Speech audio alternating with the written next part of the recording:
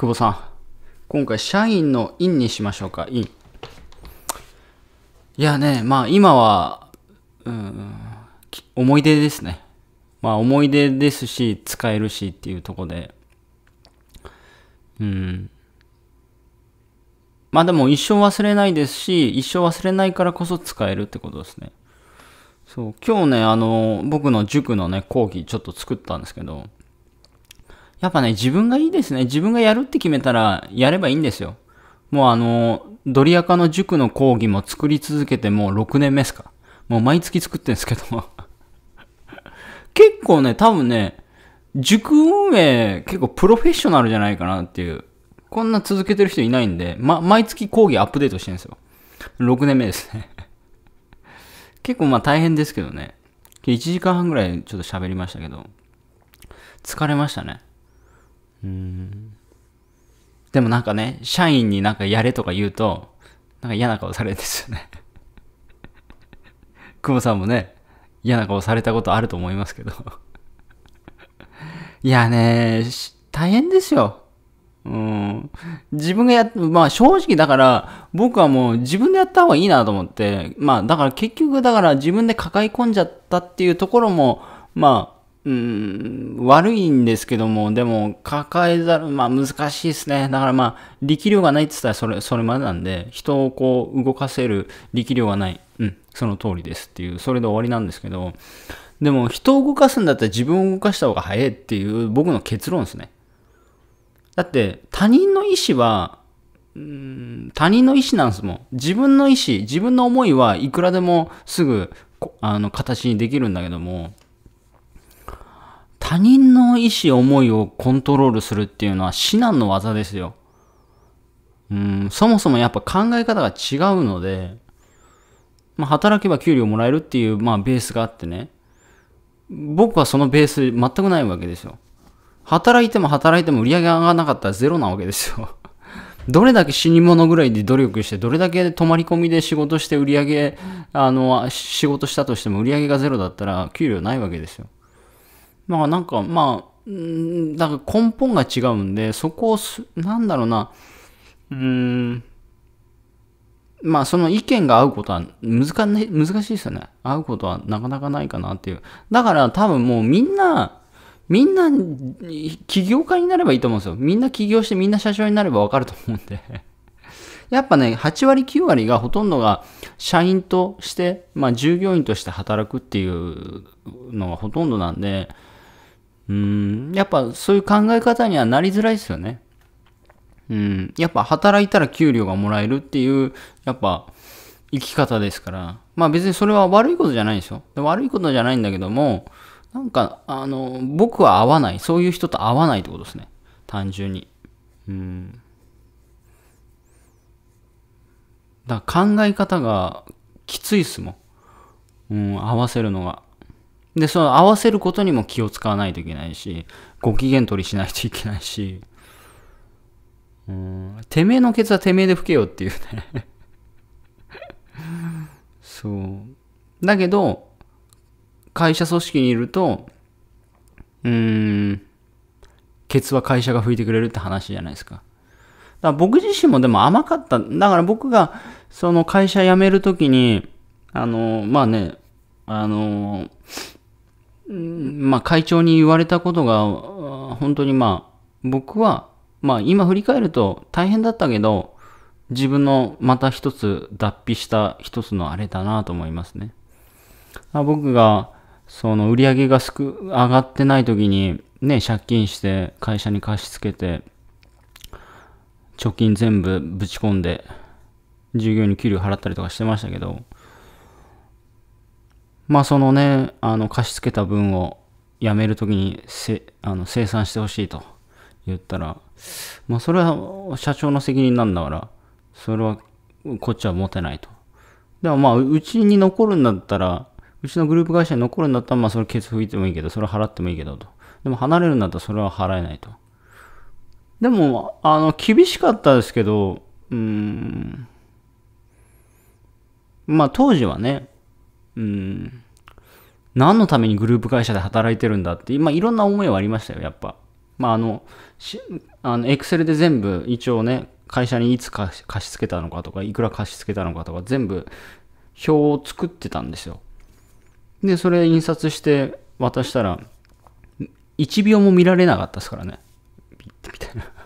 見られないっていうまさかのでもまあ、今思うと、それが僕の甘さだったんだろうなと思いますね。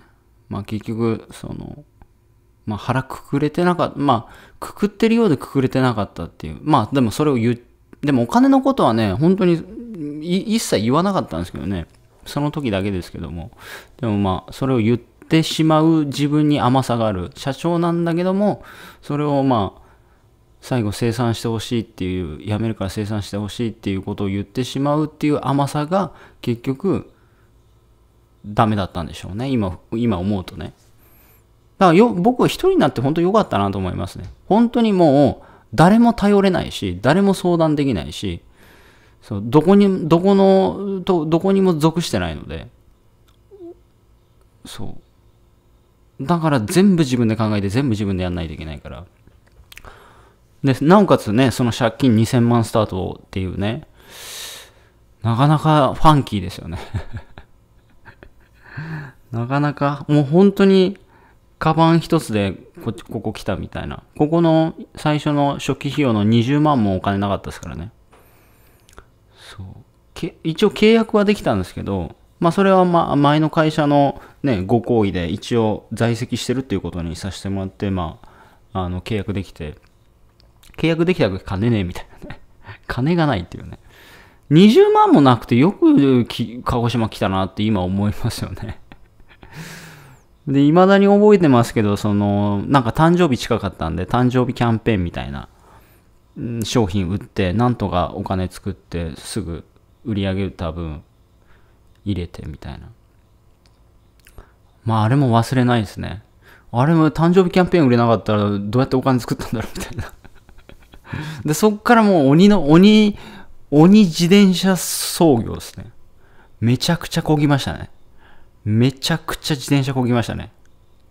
うん。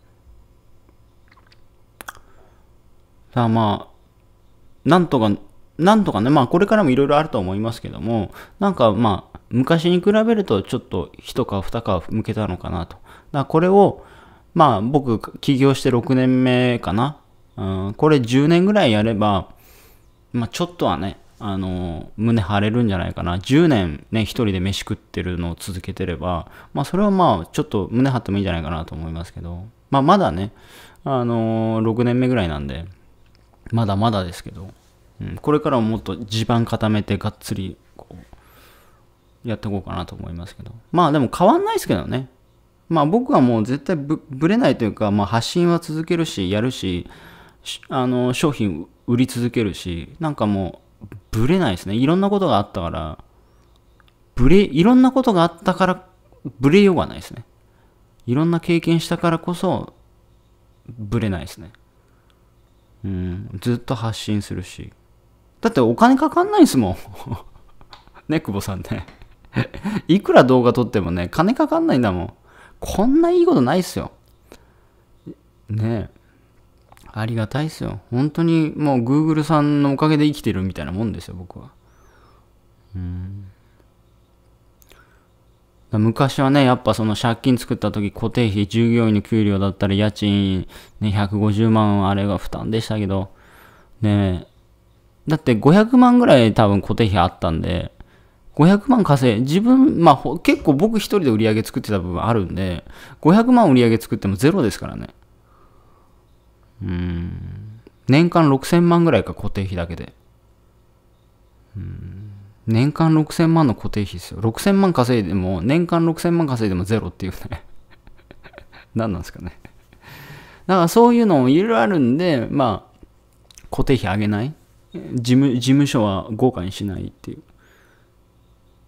多分もうここにずっと居座るでしょうね。4万2000円の。4万2000円ですから、駐車場も無料、ネットも無料ですから、本当に天国ですね。